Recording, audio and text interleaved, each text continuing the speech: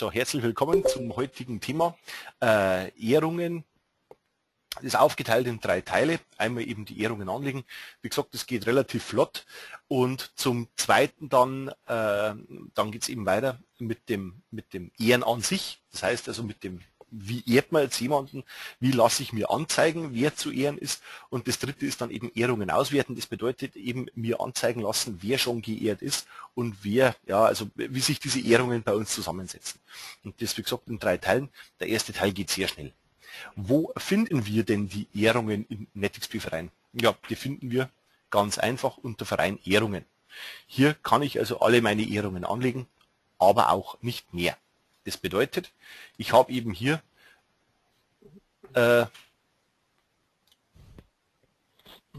so, äh, ich habe also hier eben meine Übersicht.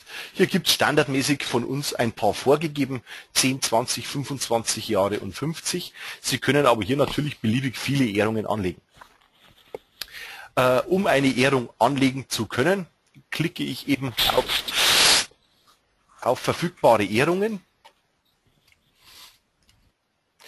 äh, klick eben hier oben auf neue Ehrungen, äh, vergebe dann eben die Bezeichnung für meine Ehrung, wie zum Beispiel, äh, machen Sie einen Vorschlag, heute ist Fasching. Fünfjährig. Na, fünf. Nein, machen wir 75. Fünf. Okay. Fünf, 75. Nein, eigentlich sollten wir 33 machen. Oder 11, 11. Heute ist unsinniger Donnerstag.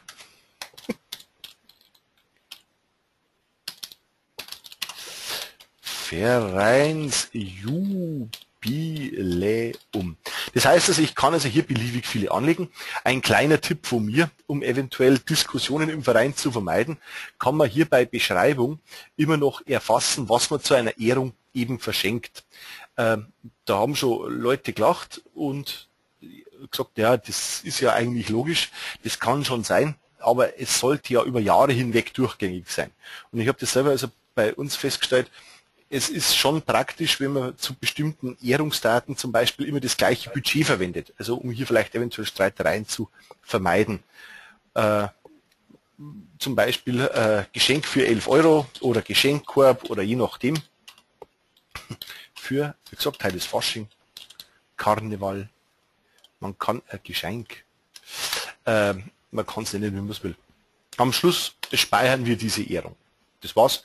Die Ehrung ist angelegt und kann dann später eben den entsprechenden Mitgliedern vergeben werden.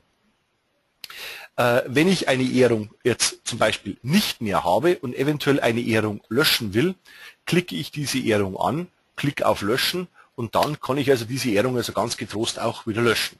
Außer die Ehrung ist einem Mitglied vergeben, dann kann ich diese Ehrung nicht löschen. Dann sagt er erst, du musst erst einmal in die entsprechenden Mitgliedern, äh, in die entsprechenden Mitglieder reingehen und hier die Ehrung entfernen, denn man kann nicht einfach eine Ehrung löschen, wenn die schon vergeben ist. Das macht ja auch übrigens überhaupt nicht den geringsten Sinn.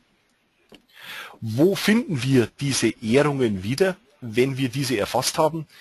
Alle Ehrungen, die wir hier erfasst haben, können wir später innerhalb der Mitgliederverwaltung eben den, äh, eben den entsprechenden Mitgliedern zuordnen.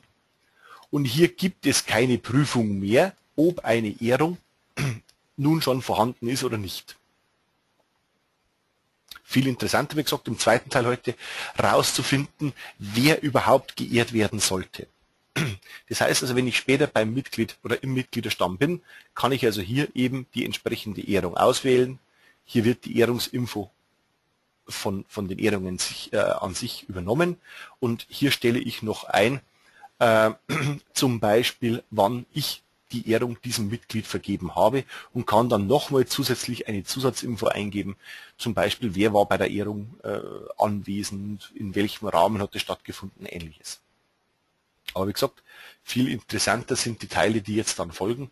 Das sind eben die Teile, bei denen wir uns anschauen, ähm, wie wir überhaupt auf die zu Ehrenden kommen.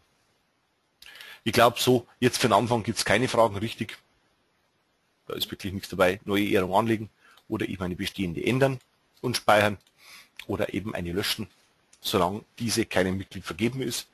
In den Mitgliedern Register Ehrungen können wir dann diese Ehrungen vergeben. Das ist ja noch sehr einfach.